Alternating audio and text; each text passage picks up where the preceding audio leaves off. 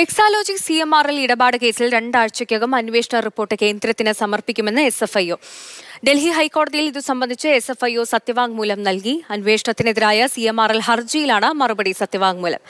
സർക്കാർ അനുമതി നൽകിയാൽ പ്രോസിക്യൂഷൻ നടപടികൾ ആരംഭിക്കും. എസ് എഫ് ഐ ഒയുടേത് സ്വതന്ത്ര അന്വേഷണമാണെന്നും ഇന്ററിം സെറ്റിൽമെന്റ് ബോർഡ് അന്വേഷണവുമായി ബന്ധമില്ലെന്നും സത്യവാങ്മൂലത്തിൽ എസ് എഫ് ഐ ഒ വ്യക്തമാക്കി.